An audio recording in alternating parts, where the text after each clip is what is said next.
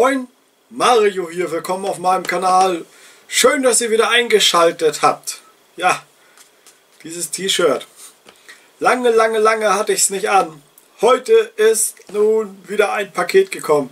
Josef, vielen, vielen, vielen, vielen Dank. Schöne Grüße nach Tschechien. Ein ja, Paket ist angekommen vom Skoda S100. Jawohl, er hat mir auch einen Brief geschrieben, dass er sich entschuldigt, dass das so lange, äh, dass so lange nichts gekommen ist und dass da Schwierigkeiten gibt von, bei De Agostini in Tschechien und dass er sich äh, Ausgaben besorgt hat aus der Slowakei und dass das jetzt äh, klappt und dass das wieder regelmäßig weitergeht als kleines Dankeschön für mein Warten äh, gibt es mal wieder ein schönes Pilz der Urquell. Nein, wir machen hier jetzt keine Alkoholwerbung, aber das werde ich mir nach dem Video reinpfeifen. Ich sag's euch. Da freue ich mich schon drauf. Das ist richtig schön kühl noch. Das Paket ist vorhin gerade angekommen. Oder was heißt vorhin? Ich kam von der Arbeit. Das Paket wartete auf mich und freue mich riesig darüber. Des Weiteren noch als kleines Geschenk ein Skoda, so wie wir früher ihn hatten. Was heißt wir? Sprich unsere Familie, sprich Mutti und Vati. Und diesen schönen Skoda, wenn Mutti nichts dagegen hat, dann werde ich ihr den mitbringen und werde ihr den äh, zur Erinnerung schön in ihre Vitrine stellen.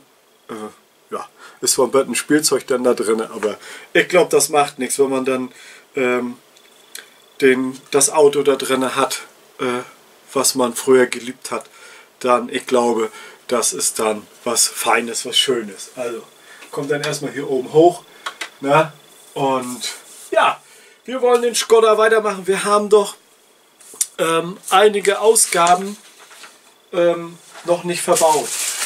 Zwar die habe ich mir hier schon mal parat gelegt von 31 bis 35 fehlt ja noch. Wir haben bis 30 gebaut und ab 36 und sprich ab 31 fehlt dann noch. Und dann geht es nachher weiter. Wir haben ja bis, äh, 45, nee, bis 47 verbaut und dann habe ich bis von 48 bis 62 noch hier. Also ein großes Paket gab es wieder. Und auf jeden Fall will ich mit euch da jetzt weiterbauen. Aber bevor wir anfangen, bitte, bitte einmal zuhören. Auch du und du da hinten auch. oh, ja, sorry, schauspielerische Einlage, macht nichts, gehört auch mal dazu. Ähm, und zwar, wenn irgendjemand von euch berechtigtes, habt ihr zugehört, berechtigtes Interesse habt an einem Skoda S100, der wird auf jeden Fall komplett besorgt, weil ähm, das jetzt auf jeden Fall äh, klappt über die Slowakei, also ob nur Tschechien oder Slowakei. Das ist gehupft wie gesprungen oder gehupft wie gedolt oder wie auch immer, könnt ihr euch aussuchen. Das ist egal, das äh, geht seinen Gang. Josef hat eine Garantie abgegeben, hat mir zu 100% garantiert, dass er noch einen Skoda komplett besorgen kann. Wer berechtigtes Interesse hat, es gibt natürlich einen Haken. es gibt natürlich einen Haken. Nein, keine eine Million Dollar. Nein. Und zwar ein Kit. Er möchte gerne den Bausatz vom Skoda 100 gegen den Bausatz von Kit tauschen. Bisschen komisch ist das natürlich. Ne? Wir alle wissen, Kit von Fanhome wird geliefert aus Tschechien. Also wir bekommen unsere Pakete von, von Kit aus Tschechien und die Tschechen bekommen Kit nicht. Es ist schon, es ist ein Paradoxum. Oder wie wir das auch immer nennen mögen. Gut, also wie gesagt, wer berechtigtes Interesse hat, schreibt mich gerne an. Ähm, der erste, wer zuerst kommt, mal zuerst, das ist klar. Ich gebe dann denjenigen, äh, am besten wäre Facebook-Name über Messenger, werde ich denjenigen an Josef weiterleiten und dann könnt ihr euch, äh, dann bin ich raus, dann könnt ihr äh, miteinander kontaktieren. Ich kann nur eins sagen, dass das hervorragend geklappt hat bis jetzt ähm, mit den Lieferungen. Ich weiß, das letzte Video vom Skoda gab es im Februar. Das ist, sind ja, schlappe 8,5 Monate her. Und äh, ja, da kann er ja nichts für, weil er hat den Skoda zum zweiten Mal abonniert, aber viel, viel später angefangen und hat dann jetzt eben die Probleme. Ihr kennt sie, der, diejenigen, die den DeLorean äh, nachgeordert haben, also sprich abonniert haben, seitdem der dann eine Weile lief oder schon beendet war, haben auch einige Probleme bekommen, aber am Ende ist, wird der DeLorean fertig. Und wie gesagt, Josef hat da eben äh, eine äh, Fundgrube aufgetan, wollte ich gerade sagen. Ein Kumpel in der Slowakei und äh, deswegen kann er das garantieren, dass der Skoda komplett ist. Also, wer berechtigtes Interesse hat, meldet sich bei mir. Entweder per Messenger, dann leite ich das gerne weiter. Oder sehr gerne dann auch per E-Mail und dann gebe ich die Kontaktdaten eben an Josef weiter und ja. Tausch Skoda gegen Kit. Kit hat gerade angefangen, kann man noch locker abonnieren, wenn man Interesse hat. Und den Skoda, er wird in Deutschland nicht kommen. Äh, De Agostini, wir wissen alle, wie das da zurzeit mit denen äh, abläuft. Ich habe jetzt gehört, dass von De Agostini alte Abonnements wieder aufleben lassen werden. Also die werden wohl noch ein paar Restbestände äh, veräußern. Normalerweise äh, arbeite ich da im Forum bei Model Space. Da fällt mir dann gerade was ein. Für alle, die im Forum Probleme haben mit Model Space oder auch Lieferungen von Model Space, geht bitte auf das englische Forum. So als Info, ich werde das auch noch ein paar, ein paar Mal kommunizieren.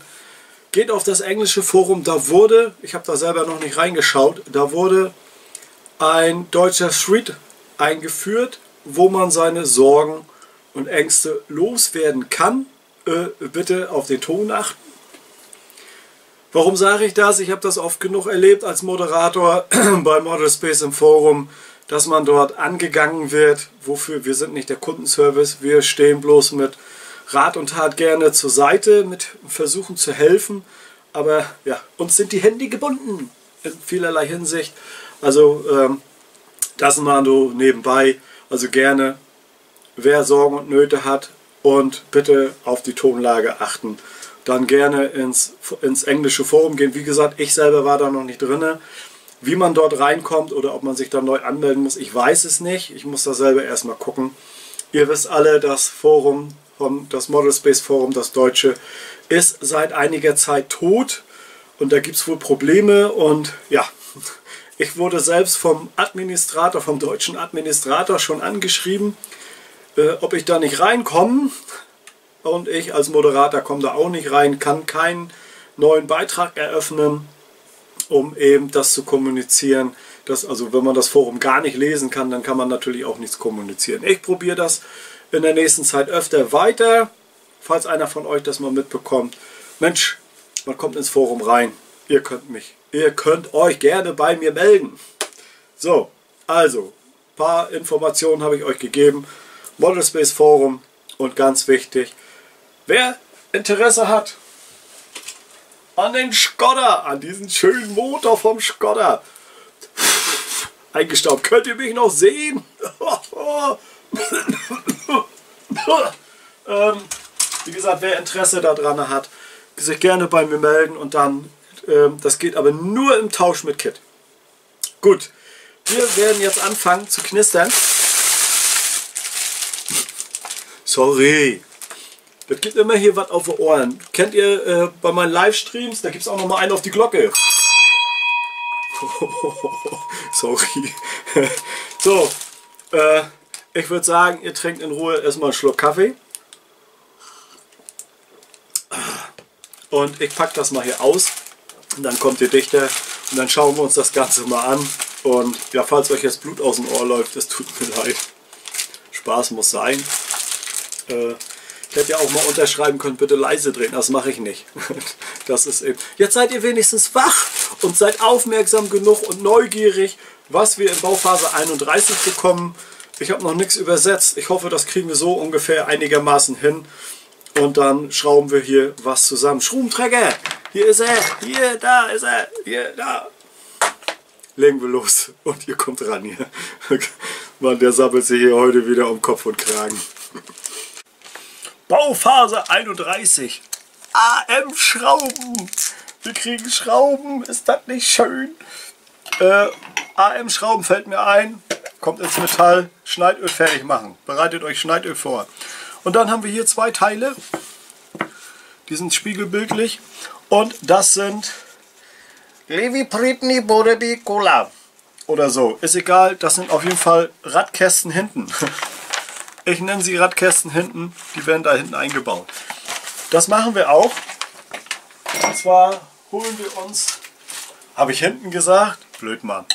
Ich habe doch, hab doch vorgelesen vorne.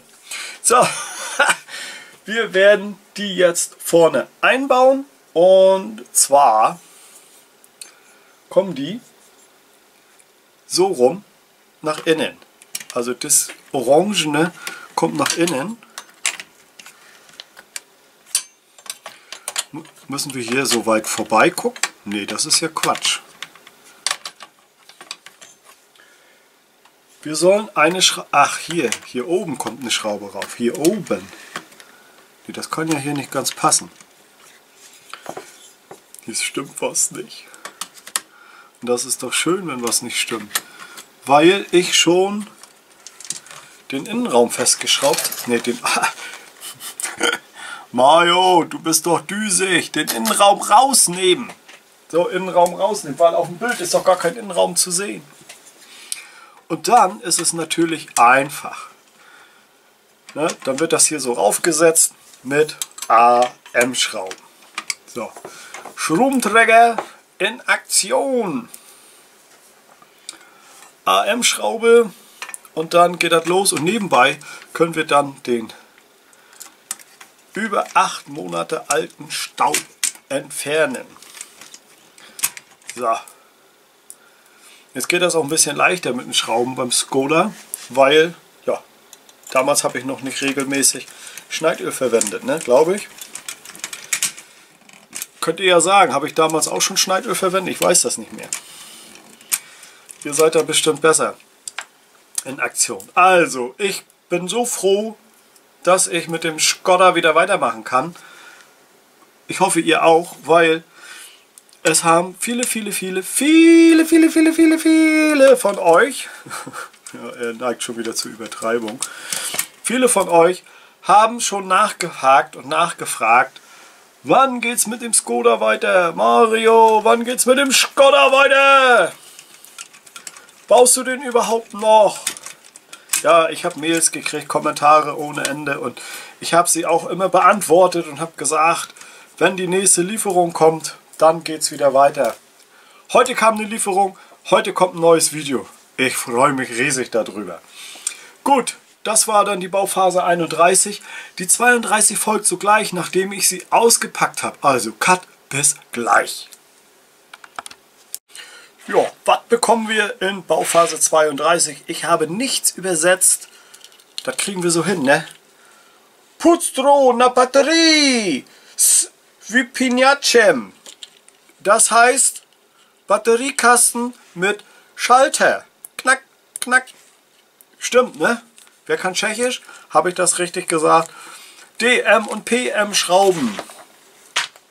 Wir legen los. Wir brauchen wieder unser Chassis. Hier haben wir das. Und hier diese Aussparung. Und da kommt jetzt der Batteriekasten so rüber und hier der Schalter rein. Zack. Ne, so rum oder so rum. Oder so rum oder so rum. Geht ja nur so. Und hier dann der Batteriekasten rauf. So, jetzt muss ich natürlich einmal schauen. Wir brauchen für hier DM-Schrauben und für die anderen dann nachher PM-Schrauben. Logisch, ne? Wenn wir die beiden Sorten geliefert bekommen haben. So, DM-Schrauben für den Batteriekasten. Also da ist eine, kommt eine Schraube rein und hier kommt eine Schraube rein. So. Ich bin so euphorisch geladen. Ich freue mich, dass ich wieder weitermachen kann. Josef ist schon Josef ist schon ein guter tschechischer Freund, ne? Kumpel. Wir kennen uns noch nicht persönlich, vielleicht wird das ja mal irgendwann so sein. So, und die PM-Schrauben, damit werden wir den Schalter festschrauben. Also, ja, war nicht viel zu machen. Aber dafür konntet ihr in diesem Video sogar schon eine zweite Ausgabe sehen. Ist das nicht schön? So, Ihr merkt, ich bin positiv geladen. Das kann auch mal durchaus anders sein, aber heute ist es nicht. Heute ist das durchweg positiv. Das war dann die Bauphase 32 und wir schauen uns gleich die 33 an. Da wird ein bisschen mehr passieren, glaube ich, aber weiß ich noch nicht. Man ist hier ein Stöf. Man ist hier ein Stöf drauf. Gut. Ähm, ja, Cut bis zur Bauphase 32. Wer hat aufgepasst, was Mario gerade gesagt hat, Bauphase 32? Nein, 33. DM-Schrauben. Den Batterieverschließungsdeckel, den Batteriekastenverdeckel, hier, ne? ja, wenn Batterien dann drin sind. Dann bekommen wir einen blau-weißen Schalter mit der Nummer C und mit D einen grün-roten Schalter. Also hier ist Backbord und Steuerbord. Was ist Backbord? Was ist Steuerbord? Bitte um Antwort. Und blau-weiß. Und wir bekommen eine Platine. Was machen wir? Nix. Hör doch, doch. Den Gefallen tue ich euch nicht. Wir machen schon was. Und zwar werden wir die Platine anschrauben. Das heißt, diese Sachen etwas beiseite. Wir holen abermals das Chassis und werden dann die Platine einbauen. Und zwar hier. Hier. Erstmal rausfummeln. Fummel, fummel. Schaffe ich nicht. Wer kann mir helfen? Komm. Ich weiß, ihr seid hilfsbereit. Ihr seid eine Menge Leute sind von euch da draußen, die sind so hilfsbereit. Man kann echt stolz auf euch Community sein. So, jetzt, wie rum kommt das Ganze? Wir gehen nach der Abbildung und dann kommt das Ganze so hier rein. Mit DM-Schrauben. Die haben wir auch mitgeliefert bekommen. Also hier muss man dann nur nach Abbildung gucken. Da steht natürlich was, dass der Konnektor Kabelu und so, dass das da vernünftig rein muss. Mit DM-Schrauben. Vier Stück an der Zahl. Werden wir dann auch gleich mal anschrauben. Dann haben wir auch die Bauphase 33 voll in Arbeit. Ich mache noch nicht ganz fest nur ein bisschen.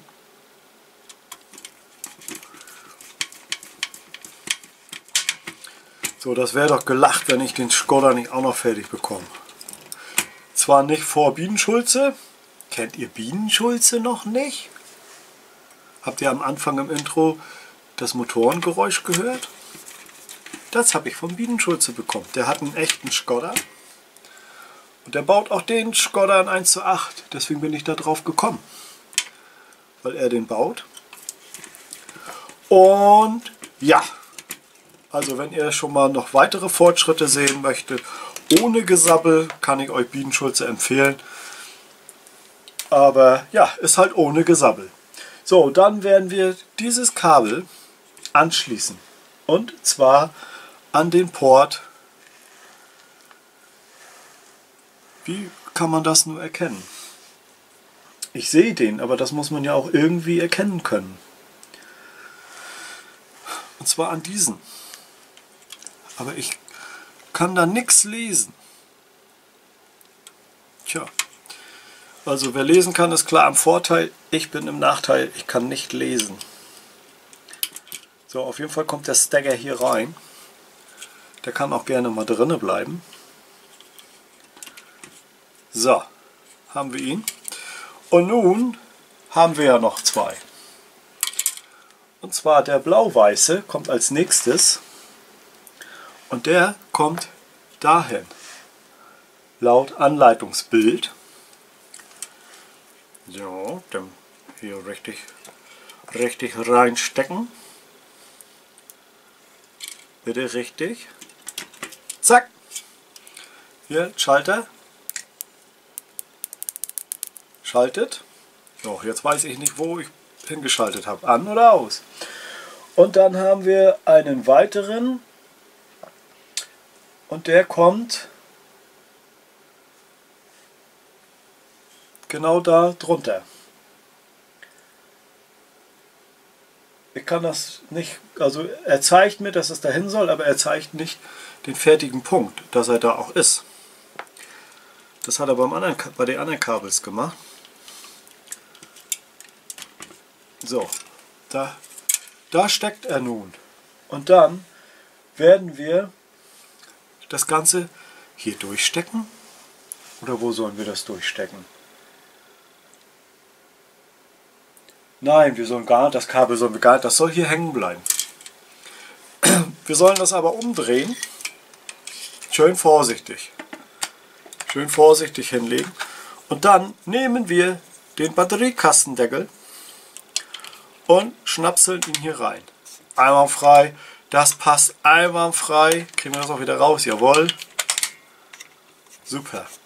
Supi. Oh, habt ihr den Wagen nochmal von unten gesehen? Noch ist er sauber, aber lass uns mal einmal über den Acker fahren damit. Ne? So, siehst du wohl, das war dann die Bauphase 33. Wollen wir mit der 34 noch was tun? Komm, wir machen noch die 34, vielleicht schauen wir auch noch die 35. Wenn ihr so viel Geduld habt. Also einmal Cut, bis gleich. In die 34 kriegen wir Unterlegscheiben. Hier, zwei. Wofür die sind? Ich weiß es noch nicht. Dann Mario Mario Schrauben. also MM Schrauben. Wir bekommen einen weiteren Schalter. Ein Schalter mit LED oder ein Schalter und eine LED. 34B, beides. Dann 34D, da sind vier LEDs dran. Dann haben wir 34C, da ist, da sind zwei LEDs dran. Und wir bekommen 34A eine Box oder auch Lautsprecher genannt. Ich kriege das nicht ausgepackt, können wir nicht weiter basteln. Ha, Glück gehabt. So, mit Öl. Wir schauen in die Bauanleitung und siehe da, ich habe es geahnt, der Lautsprecher wird gleich eingebaut mit MM-Schrauben. So.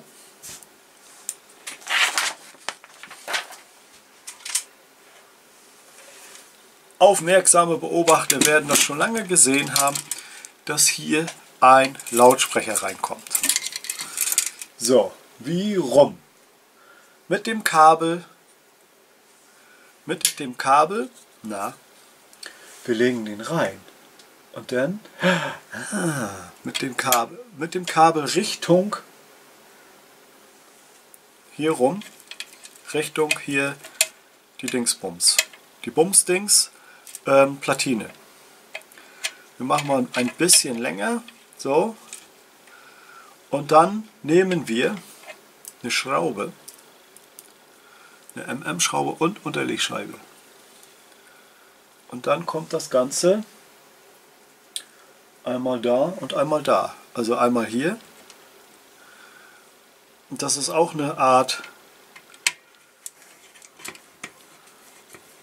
Verschraubung anbauen. So erstmal nur ein bisschen, noch nicht komplett fest. Und dann das Ganze auch nochmal auf der anderen Seite.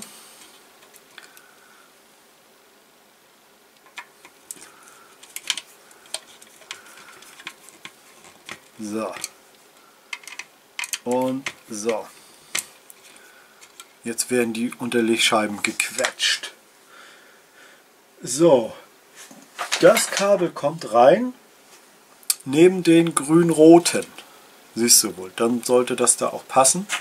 Vielleicht nehmen wir jetzt mal eine Pinzette.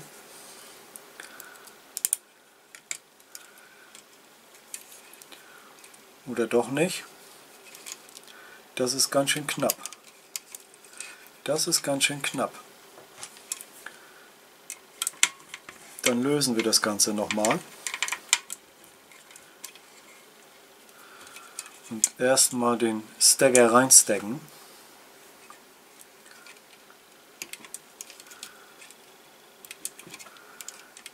Das Kabel hätte... Ne, wir wollen nicht schimpfen. Hätte... Ne, braucht, hätte nicht länger sein brauchen. So, das passt. Was nicht passt, wird passend gemacht, ne? So. Gut. Der fällt nicht raus. Das ist auch wichtig. Als nächstes schmeißen wir erstmal alles runter. Das müssen wir nachher alles wieder aufsammeln. Ich sage es euch, ich muss nachher wieder Ordnung schaffen. Wir brauchen 34C. Hier haben wir 34C. Das müssen wir erstmal auseinandertüdeln. Und ihr seht, hier ist eine LED. Dann mit Stagger und Verbindung und hier ne, und so und hier ist noch eine LED. Also mit zwei LEDs und dann haben wir hier 34C einen rot-grünen Stecker, der kommt, 34D, Entschuldigung, der kommt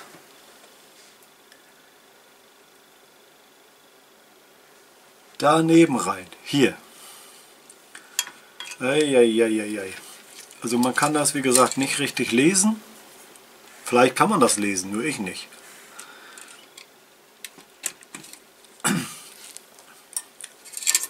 So, auch der ist jetzt drin. Dann haben wir 34E. Das ist hier der Schalter, ein kleiner, schaltet. 34E, der kommt Ach, eine NM-Schraube habe ich noch vergessen. Ich sehe das gerade. Hier ist ja noch eine Verschraubung. Hier kann man ja nochmal einen verschrauben. Ich habe mich schon gewundert, warum ich diesmal zwei übrig habe. Also sind wir beim Rückschritt, also einen Schritt zurück. So, dann kommt hier auch noch eine rein. Wunderbar. 34E, der Schalter kommt ein davor rein. Sprich hier. Ist das richtig rum? Ja. Da muss man nämlich aufpassen, dass die Nupsis in die Löcher reingehen. So. Weiter im Text mit der 34F.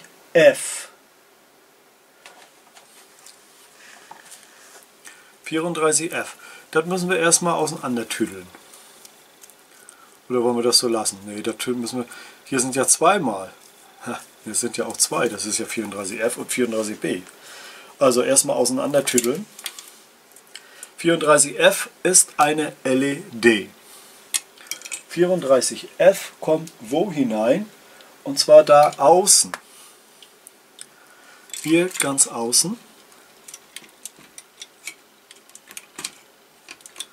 So, Nächstes Bauteil ist 34b, kommt daneben. 34b ist ein Schalter.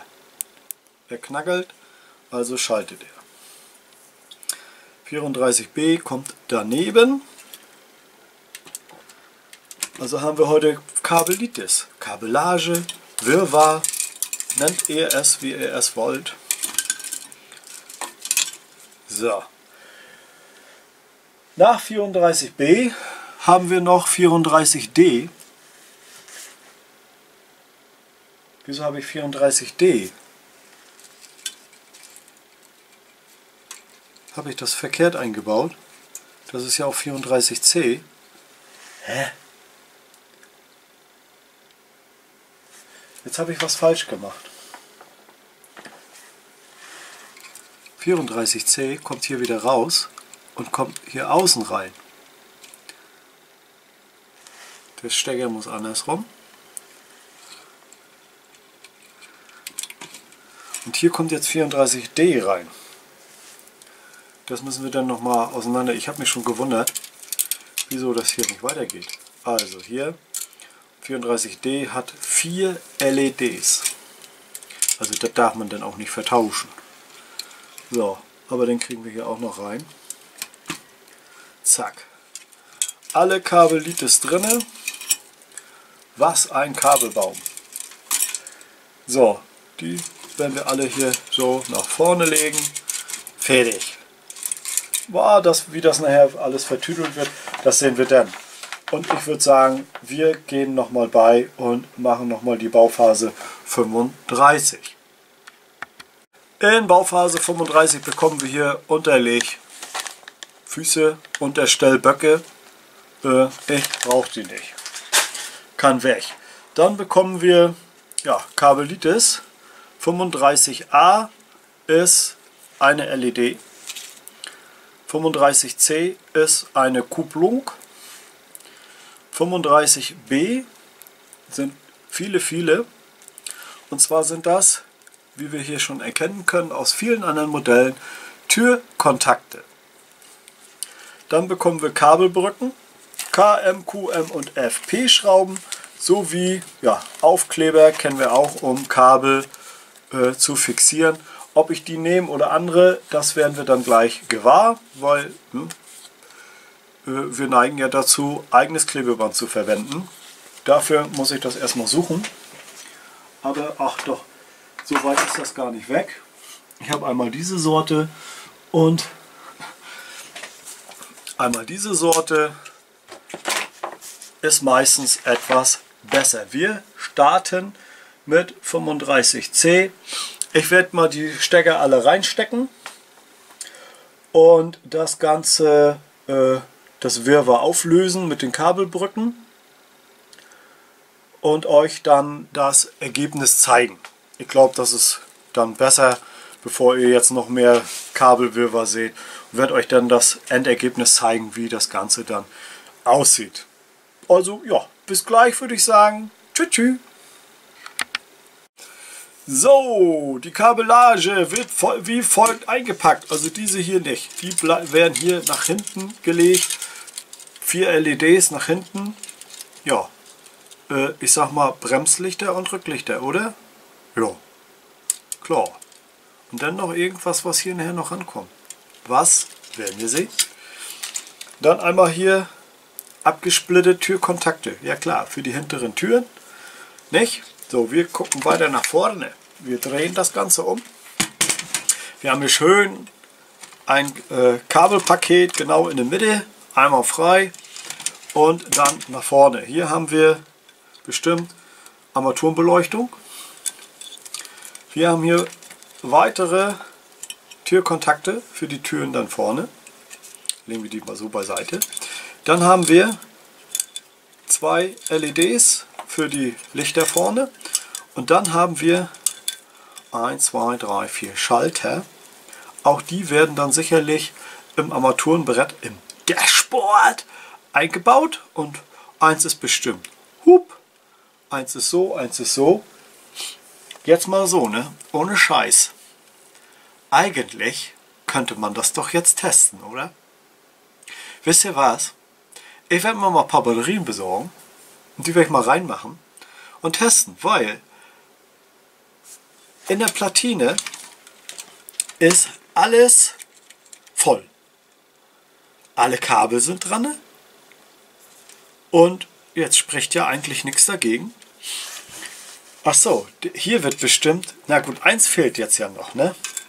Vielleicht ist das, was hier noch fehlt. Hallo, wo bist du? Hab dich verloren.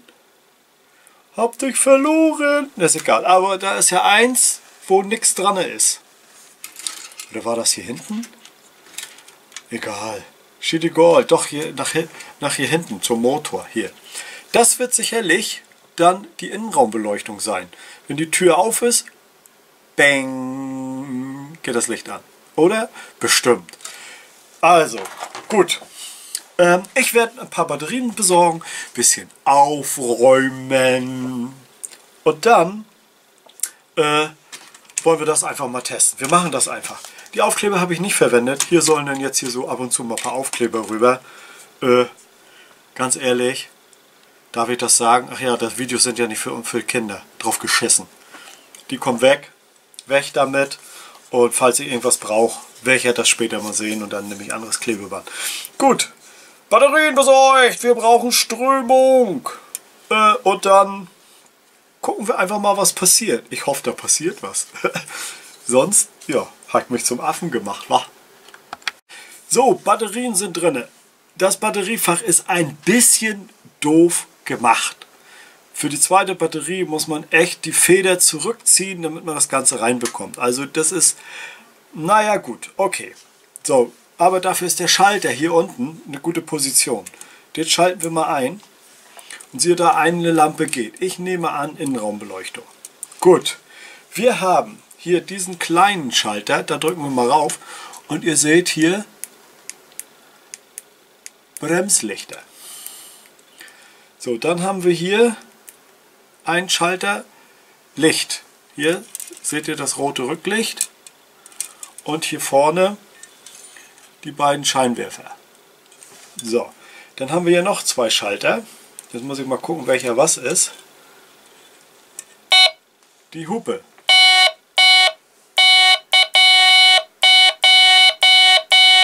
Genug gespielt. Und jetzt kommt, gut, dass ich den als letztes genommen habe, aber hat, hat ja hingehauen. Der blau-weiße ist der,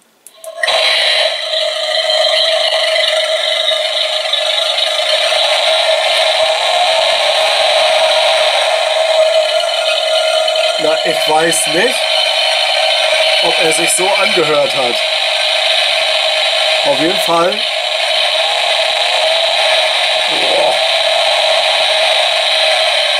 Auf jeden Fall braucht er ein bisschen Strömung, weil wir sehen dann das Licht flackern. So, jetzt schalten wir das nochmal auf. Wollen wir nochmal den Motor hören? Oder die Hupe? Die Hupe. Licht an, Licht aus, Hupe, dann das Bremslicht, das ist der ganz kleine, der bremst schön doll. Dann wollen wir nochmal Licht anmachen und dann bremsen. Jawohl, funktioniert. So, und dann, ach komm hier, einmal nochmal, einmal. also, die Strömung geht, einmal frei, Hauptschalter aus, das war dann auch noch die Bauphase, habe ich jetzt vergessen, 36 oder 35. Ich muss auch noch mal in das letzte Heft gucken. 35. Gut, bis 35 verbaut. Und ja, dann gucken wir gleich mal rein, was wir beim nächsten Mal tun. Ah, Skoda, komm mal her. Wir legen mal hier alles hier wieder rauf. Die Kabelitis hier. So, von hier vorne auch. Jetzt sieht das natürlich nicht mehr so schön ordentlich aus. Aber wir wollen die Kabel ja nicht, wer weiß wohin hängen lassen. Man könnte sie jetzt ein bisschen einwickeln, aber mal gucken, wie es demnächst weitergeht. Ähm, wie gesagt, Bauphase 36 haben wir ja schon mal gebaut. Ich weiß gar nicht mehr, was wir da gemacht haben. Ähm, und wir sind ja bis Bauphase 47 gekommen. Das heißt, beim nächsten Mal machen wir mit der 48 und folgende weiter. Mal sehen, wie weit. Ähm, da geht es ja mit dem hinteren Sitz, mit der hinteren Sitzgruppe weiter. Die ist ja noch nicht komplett. Und ja, die Strömung hat funktioniert. Der Test ging. Ich hatte jetzt auch keine Manschetten, den Test auszuprobieren. Und ja, der Skoda ging wieder weiter. Bauphasen 31 bis 35. Haben wir fünf Ausgaben geschafft. Ihr seht, ja, es geht weiter. Ich freue mich riesig. Nochmal vielen, vielen Dank an Josef. Nochmal für euch zur Erinnerung. Wer von euch möchte den Skoda S100 bauen?